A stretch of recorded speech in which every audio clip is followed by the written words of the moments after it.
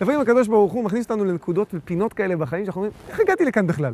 איך הגעתי לסיטואציה הזאת, איך פיטרו אותי מהעבודה, איך התגרש, ואיך נכנס לכלא, ואיך הוא מוצא את עצמו בבית חולים. לא יודעים. אנחנו לא מבינים שהקדוש ברוך הוא לא תקע אותנו שם, אלא הוא הוביל אותנו לשם כחלק ממסלול שאנחנו צריכים לעבור בחיים. תשמעו סיפור חזק. בחור באמצע הלילה, שעה אחת בלילה, פתאום מרגיש כאבי בטן, נקי דם. איזה לחץ זה להקיא דם בשעה אחת בלילה? מתקשר ישר לרופא משפחה שלו, אל תשאל, נקיתי דם בשעה אחת בלילה, זה קצת מלחיץ להקיא דם. אומר לו הרופא משפחה, תקשיב, קום עכשיו מהר, רוץ לבית חולים לחדר מיון. אומר לאשתו, הרופא אמר ללכת לחדר מיון. נוסעים לבית חולים, הוא נכנס, עושה כמה בדיקות, הרופא אומר לו, שמע, הכל בסדר, זה בסך הכל משהו קטן, זה יעבור יום-יומיים, אין מה לחשוש. איך שהוא יוצא מהחדר ומחכה לטופס שחרור מהבית חולים, הוא רואה שם איזה בן אדם הולך הלוך חזור בלחץ. בלחץ. הבן אדם חוזר והולך ומתנשם, והם רואים אותו ממש ממש לחוץ. אז אשתו אומרת לו, תקשיב, הבן אדם הזה נראה ממש לחוץ, אולי תראה, אולי אפשר לעזור לו במשהו, תשאל אותו אם הוא צריך עזרה. טוב, נשאל אותו, ניגש אליו ואומר לו, תגיד, אה, הכל בסדר, אתה צריך עזרה, אני יכול לעזור לך במשהו? הוא אומר, תגיד, להגיד לך את האמת, אני, אני ממש בלחץ. אותו בן אדם נראה ככה בסביבות גיל ה-40, הוא מספר לו, אנחנו עכשיו הגענו מהבית, הבן שלי, בן ה-16, היה לו איזה תקרית ביתי, ביתית, שני אצבעות נכרתו לו מהיד. לקחנו את שתי האצבעות, שמנו אותן בקרח, ישר רצנו לפה לבית חולים, ועכשיו הוא נמצא בחדר ניתוח, והרופא אמר לי שיש לי שתי אפשרויות. או שמשאירים את המצב כמו שהוא, יישאר לו יד בלי שתי אצבעות, אבל מתפקדת טוב, או שעושים ניתוח, ויכול להיות שיצליח, כי יכול להיות שכל היד תיכנס לסיכון. מה עושים? יש לך חצי שעה להחליט.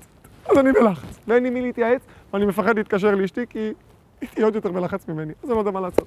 אמר לו, תקשיב טוב, אני ממליץ לך, קודם כל תתייעץ עם בורא עולם, תבקש ממנו סייעתא דשמיא, ודבר שני, יש מישהו שאני חושב שממש יכול לעזור לך. שמעת על הרב אלימלך פירר? הרב פירר? הרופא? אומר לו, כן.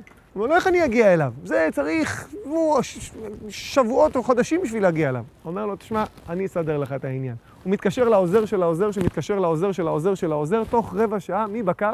הרב פירר. הוא, הוא, הוא, הוא אומר לו, תקשיב, יש פה איזה בן אדם שהבן שלו, שתי אצבעות, מספר לו קצת את, ה, את המקרה, הוא אומר לו, תן לי לדבר עם האבא.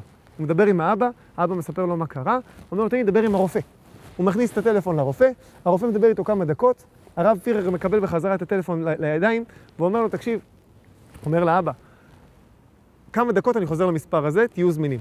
הם מחכים בלחץ, תוך כמה דקות הוא חוזר אליו ואומר לו, תקשיב טוב, הילד יעבור את הניתוח, אבל לא בבית חולים הזה, בבית חולים אסף הרופא, כבר יש לו שם מנתח שמחכה לו, שיעשו לו את הניתוח. טוב, אורזים ישר, הוא לוקח את הטלפון של הבחור שלנו שהגיע לשם במקרה באמצע הלילה, ונוסע לאסף הרופא, והבחור שלנו חזר הביתה יחד עם אשתו. הוא אומר לאשתו, שמעי, אני הולך להתפלל בנץ, כי כבר גם ככה לא ישנתי כל הלילה. הוא הלך לתפילה, ואת מי הוא פוגש בתפילה? את הרופא משפחה שלו. הוא אומר לו, מה נשמע? אתה היית אתמול בבית חולים? הוא אמר, בטח שהייתי. ואמרו לי שזה שום דבר וזה כבר יעבור. אומר לו, כן, את האמת, הרופא מספר לו שבאותו ערב, לפני שהוא התקשר אליו בשעה אחת בלילה, הוא בדיוק קרא איזה מגזין של רפואה, ששם מספרים על איזה אחד שהקיא דם, והרופא חשב שזה שום דבר, בסוף התברר שהיה לו נקב במעיים, והוא מת אחרי שעתיים. אז אמרתי, אני לא לוקח צ'אנסים, לך לבית חולים. הוא אומר לו, תקשיב, אתה לא מבין איזה השגחה פרטית, הגעתי לבית חולים, ממש עזרתי שם לאיזה בן אדם. שבועיים לאחר מכן, הוא מקבל טלפון מהאבא של הילד, והאבא אומר לו, תקשיב טוב, בזכותך היד של הילד שלי מתפקדת כרגיל כמו בראשונה. אני רוצה לעשות משהו, תן לי לתת לך משהו. מגיע אליו יום למחרת, שיירה של רכבים מאוד מאוד יקרים. יוצא האבא, הילד וכל המשפחה ניגשים לבחור שלנו, שהציל את היד של הבן שלו, ובאים ושרים לו וזה, והוא אומר לו, האבא, לבחור שלנו, תקשיב, יש לי פה מעטפה של כסף שהיה אמור ללכת לניתוח הפרטי של הילד שלי. ובגלל שאתה סידרת לי ניתוח בבית חולים, הכסף הזה נשאר יתום. אז רציתי לתת את זה לך. אומר לו הבן אדם, תקשיב, אני לא מוכן לקבל ממך את הכסף. מה זאת אומרת? עשיתי פה מצווה, זה בורא עולם ציווה לעשות חסד. אני לא מקבל שום כסף, לא רוצה. תודה רבה, השם יברך אותך, רק אני שמח לראות שהבן שלך בסדר. הוא כל כך התרגש, הם שמרו על קשר. אחרי תקופה לא ארוכה, הבחור שלנו חיתן את הילד. אז הוא הזמין את, ה... את האבא לחתונה. היה חתונה שמחה מאוד, הוא הגיע בסך הכל יחד עם הבן שלו. בסוף החתונה הוא נעלם. בא לחתונה, בא לשלם לדי-ג'יי, הדי-ג'יי אומר לו, שמע, זה כבר שולם. בא לשלם לצלם, זה כבר שולם. רץ מהר לבעל האולם, כבר שולם. מתברר שהוא שילם כבר על הכל. תראו מה זה.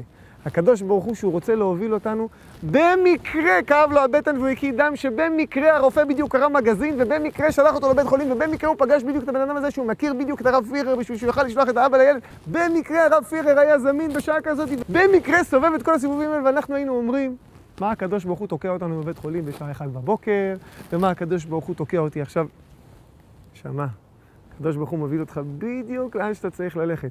הוא לא תוקע אותך באיזשהו מקום, הוא מוביל אותך לשם. כי שמה המקום הכי טוב שאנחנו יכולים להיות בו באותו רגע. תודה רבה.